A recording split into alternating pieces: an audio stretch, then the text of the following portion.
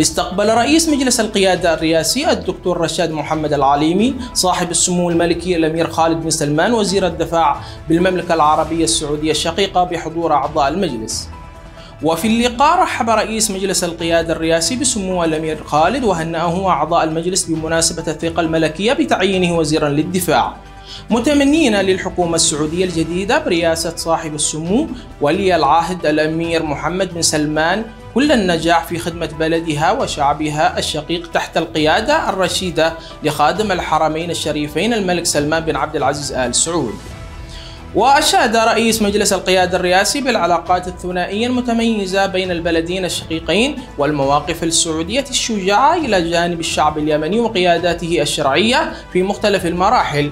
كما جدد الثناء على جهود المؤسسات والهيئات السعودية. وتطرق اللقاء إلى مستجدات الوضع اليمني والإصلاحات التي يقودها مجلس القيادة الرئاسي في المجالات الاقتصادية والخدمية والدعم المطلوب للمضي قدما في هذه الإصلاحات.